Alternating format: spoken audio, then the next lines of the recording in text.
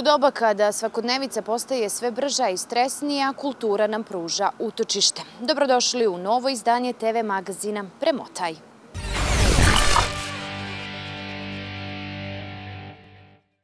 Između mašte i problema. Bili smo na premijeri novog crnogorskog filma Planeta 7693 koje donosi priču o tome kako se djeca suočavaju sa problemima i izazovima jedne porodice.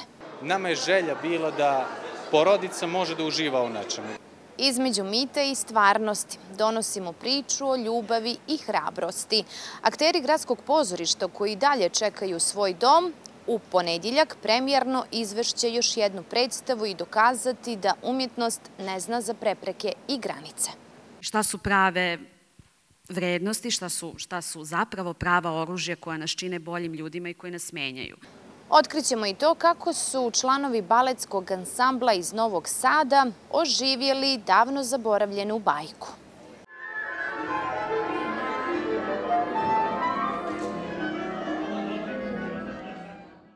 Zaronit ćemo i u svijet pop arta.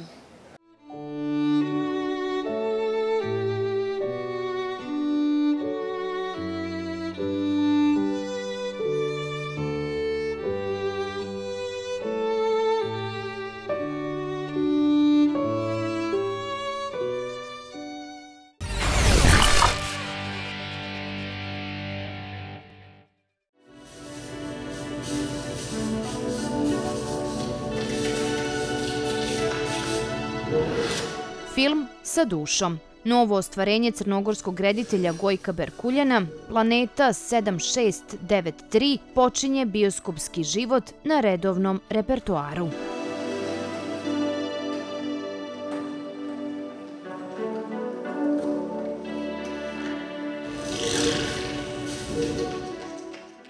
U središtu priče je devetogodišnji Luka, dječak izuzetne mašte koji u trenutku dok mu se porodica raspada stvara vlastiti svijet pun čuda. Mladi glumac Ilija Pejaković donosi lik Luke s nevjerovatnom energijom pokazujući dječaka koji se suočava sa ozbiljnim problemima u svojoj porodici. Ti samo nastavi da bacaš pare na gluposti pa će dete da nam jede ove svetove do treće godine.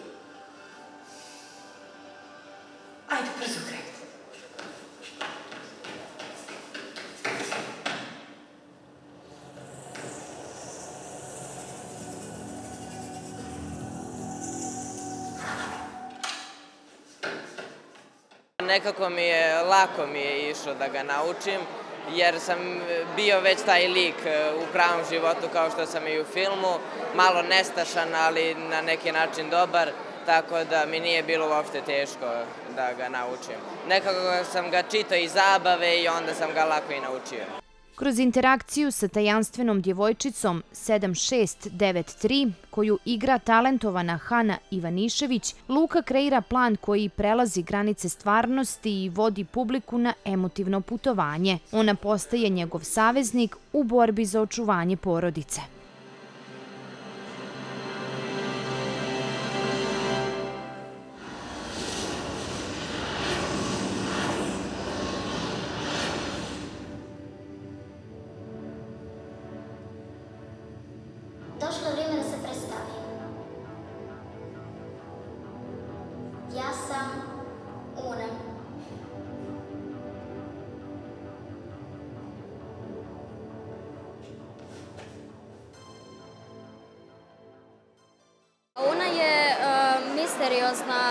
Djevojčica uh, koja je onako drugačija, ima uh, moći. Tretirajući teme kao što su pobačaj, emotivna udaljenost i ekonomska nestabilnost, film nudi posve novu perspektivu, istražujući kako se djeca nose s teškim situacijama koja se često pokušavaju sakriti od njih. U filmu je prikazano kako Luka, uprkos tome što je mali, intuitivno osjeća krizu koja se odvija u njegovoj porodici i pronalazi sobstvene načine da se nosi sa tim bolnim iskustvima. U ulozi roditelja briljirali su Kristina Obradović i Andrija Kuzmanović.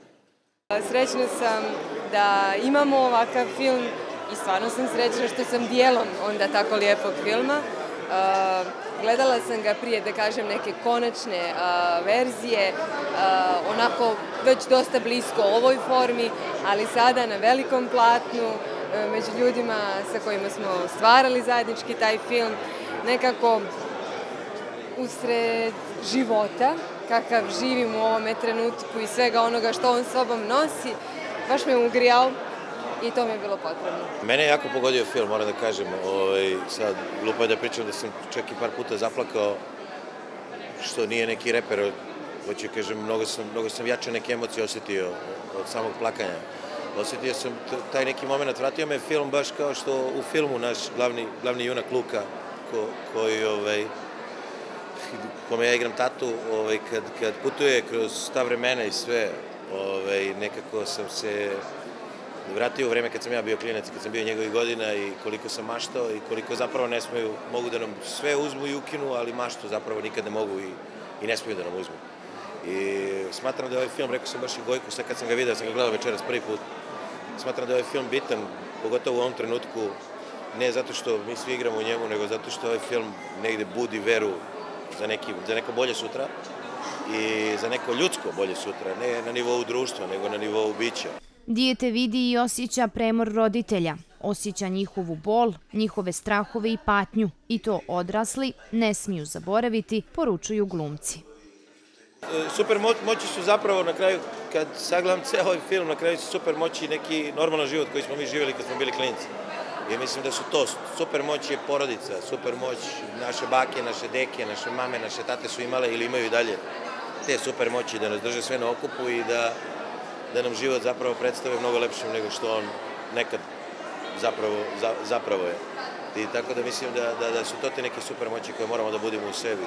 Pored mašte koju sam već rekao kao prvu, ove, ovaj, to neko, ne, ne, ne, neko razumevanje među ljudima. Mislim da je to jedna velika supermoć koja danas nedostaje našem društvu savremenom, da, da, ovaj, da možemo sve da postignemo i da nije sve u novcu. Mislim da su dvije jako važne stvari. Voljela bih da svako izađe, da roditelji izađu sa mišlju o tim stvarima, da ne postoji ni jedan dovoljno validan i veliki razlog e, koji bi trebao da natjera dijete da na svojim e, leđima nosi e, takav teret kakav nosi Ilija, naš u ovome filmu, e, i da bori takve borbe, da pokušamo da se prisjetimo da smo mi ti koji ipak moramo držati kormilo. Premda, ponekad nije loše jer e, toliko je empatije, toliko je ljubavi, toliko je e, sinergije podijeljeno, čini mi se, u samoj porodici, da Pa, ne znam, mislim da je glavna poruka koju ljudi treba da odnesu sa ovoga filma stvarno da ljubav i ovo malo duše koje imamo zbilja mogu spasiti prvo ovaj unutarnji svijet, a ako se taj mali unutarnji svijet spasi, onda stvarno odlažemo i ovu čika svetovu apokalipsu iz filma do daljnjeg. Ja vjerujem u to. Reditelj naglašava da je ideja filma da pruži porodičnu priču očima djeteta, ali na način koji će biti jednako dirljiv i odraslima. Naučna fantastika ovdje je samo okvir za dublje teme o ljubavi, gubitku i ponovnom pronalaženju bliskosti. Nama je želja bila da porodica može da uživa u nečemu, da taj jedan nukleus društva može fino da sjedne nedjeljom veče ispred TV-a ili nadam se u bioskop, ovaj, odlaskom u bioskop da uživa gledajući naš film. Jer želja nam je bila da napravimo nešto kao, malo prije sam to rekao, kao zabavnik, ne, nešto što je za, od, za sve uzraste. Od 7 do 107, mi, mi smo bili još malo ambiciozniji. I zaista nam je to bila uh, vodilja sve vrijeme. Jer moramo, sami smo svjesni, iako crnogorska kinematografija zaista cvijeta u posljednje vrijeme. Vrijeme je sad da se napravi diversifikacija E, filmova. I zaista je vrijeme da se malkice više osvrnemo na neke stvari koje su, ajde da kažemo tako malo šireg karaktera, koje su naklonjene publici, koje su napravljene za publiku i koje su ovaj, i, i uz koje može svako mogući da uživa iz toga da povuče određenu poruku. Tako da je to bila, ajde da kažemo, ideja koja nas sve vrijeme vodila.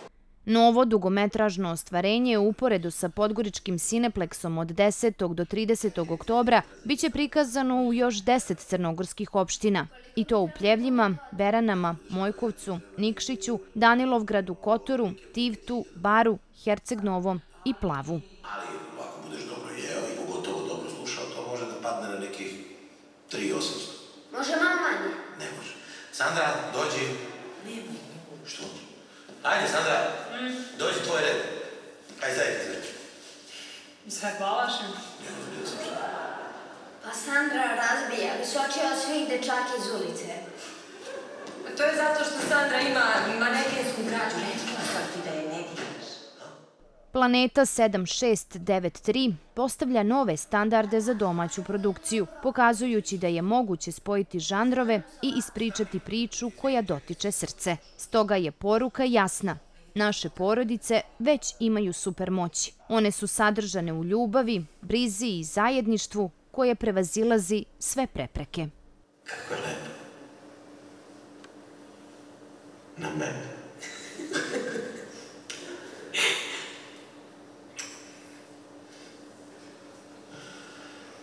I nije nego na mene. Vidio je okice.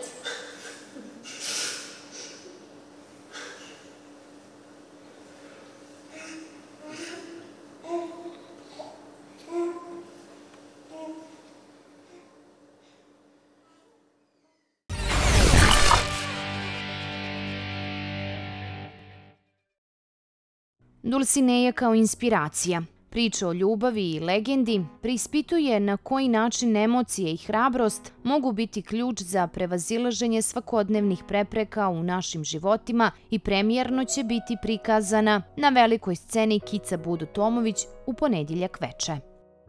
Mi glumci znamo koliko je manje u svjetskoj književnosti ženskih likova napisano uopšte, a kad dobijete da igrate jedan ovako snažan i slojevit lik kakav jeste Dulcineja, onda je to stvarno na ogromnu čast i zadovoljstvo, a prije svega izazov.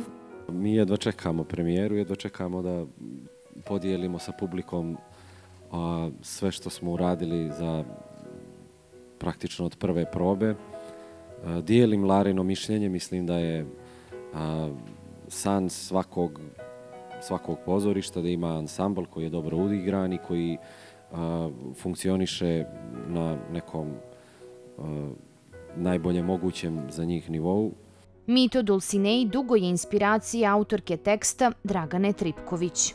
Upravo ta priča o Dulcinei, to jest toj vječitoj muzi Cervantesovoj, jednoj od zapravo e, najvećih književnih muza naše civilizacije, e, bila je povod da nastane prvo jedan oblik teksta koji je bio namijenjen za drugu priliku, a da se na poziv direktorice Ivone Čović-Jačimović on razvio u jednu potentnu dramsku priču. Rediteljka predstave otkrila je da je mješavina istorijskih činjenica i legende o Dulcineji i Cervantesu otvorila niz važnih pitanja koja su aktuelna i danas.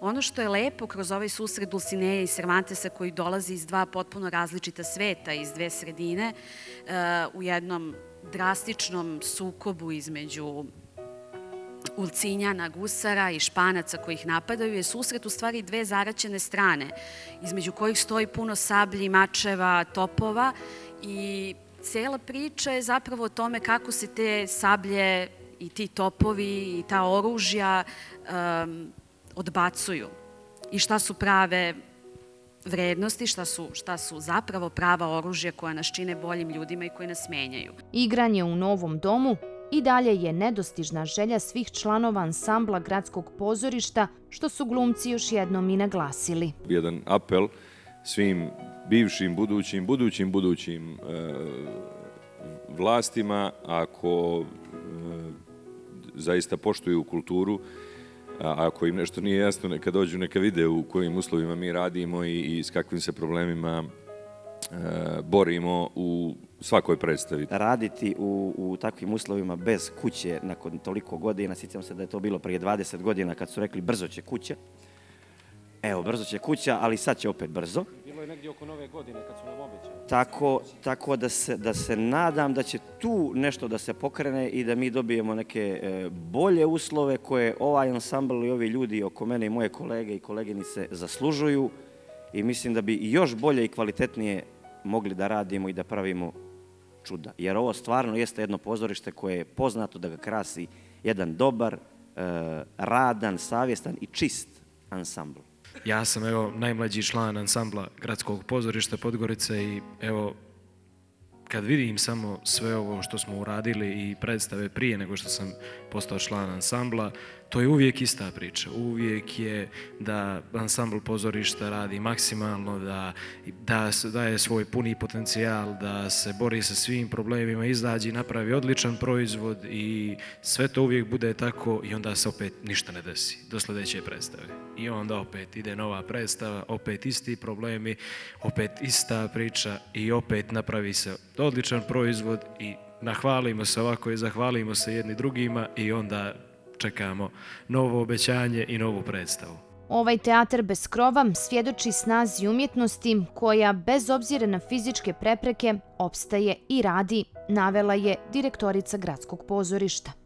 Ono što je jako važno i što često napominjem je i ta priča da kada smo birali temu za e, početak nove sezone u gradskom pozorištu e, je i ta da kad smo razgovarale Dragana i ja, Sneže i ja, najprije Dragana i ja, koja bi to tema bila, nekako je to trajalo danima, danima, danima i ja sam onako spontano Dragani rekla da bih jako voljela da je to tema koja se tiče našeg podneblja, naše istorije i da je tema o ljubavi i pomirenju. I nekako sam je onako sugerisala citirala, citirala sam iz uh, citati iz Antigone za ljubav, ne za mržnju, ja sam rođena.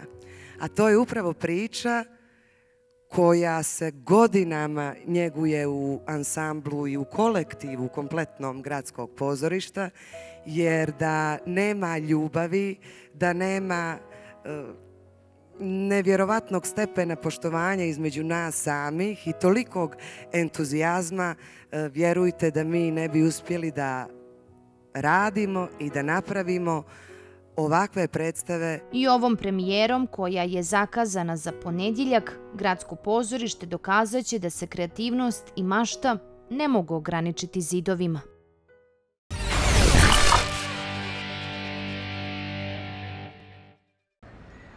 Kad snovi postanu stvarnost, uspavana ljepotica, remek dijelo Petra Čajkovskog otvorila je novu baletsku sezonu u Srpskom narodnom pozorištu u Novom Sadu, donoseći sa sobom magiju, romantičnu nostalgiju i nezaboravne trenutke.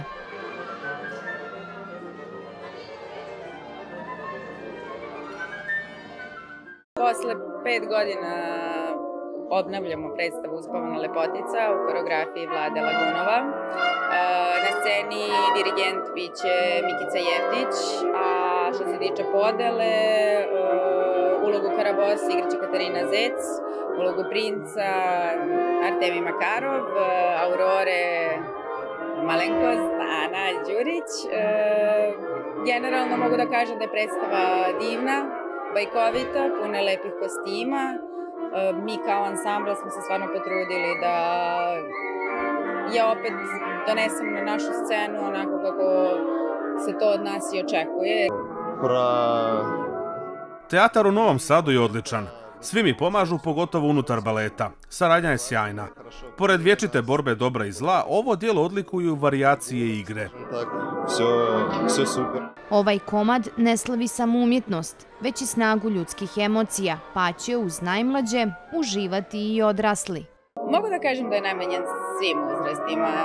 Mislim da ljubitelju umetnosti stvarno namenjen je svim uzrastima. Jedino bi možda rekla za da se razumemo bajka je konkretno za malu decu, mada naša predstava traje dugo, tako da možda ne mogu da izdrže da pogledaju do kraja, ali mogu reći da je za sve uzraste, prosto umetnost mislim da ne gleda godine. Uspavana ljepotica jedno je od najpoznatijih dijela Čajkovskog i ujedno jedno od najviše izvođenih na baletskom repertuaru.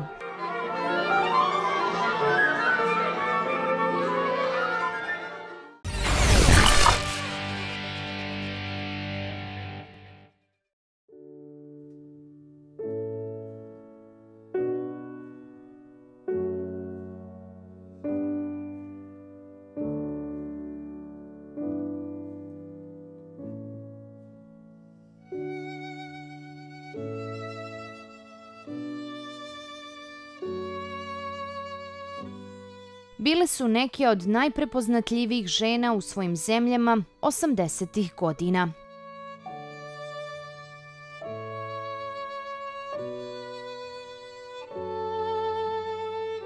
Sve su kraljice i sve ih je u njihovom kraljevskom veličanstvu uhvatio američki umjetnik Andy Warhol. Volio je moć brenda i imidža u svojim dijelima, pa se čini prirodnim da ga privuče simbolika monarhije. Serija portreta kraljice koje vladaju sada je izložena u Holandiji.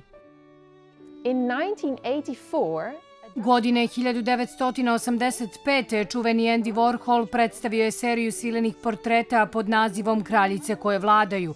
Četiri trenutne vladarke, Elizabetu II, Beatrice od Holandije, Tombi Tvalu od Svazilenda i Margaretu II od Holandije. Portret monarha Ujedinjenog kraljevstva ipak je najpoznatiji.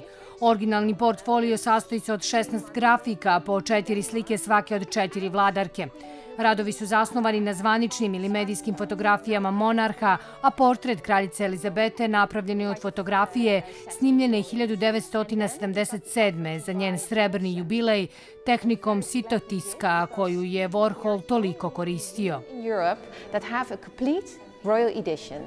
Ovi portreti sadrže mnoge od Warholovih centralnih tema – slavne ličnosti, portrete, konzumerizam, dekoraciju i ekstreme društvene hjerarhije. Portreti se često odnose na javno lice i moć. Warhol je bio veoma uznemiren zbog izložbe i u svojim dnevnicima je napisao Mrzim Georgia Maldera što izlažem u Americi. Trebalo je da ova serija bude prikazana samo u Evropi. Niko ovdje ne mari za monarhije i dobit ću loše ocjene. So that says something. Jedna od najpoznatijih umjetnikovih izjava je svako će imati svojih 15 minuta slave, kao i nije li život splet slika koje se mijenjaju ponavljajući se. Izložba u Holandiji otvorena je do kraja januara 2025. godine.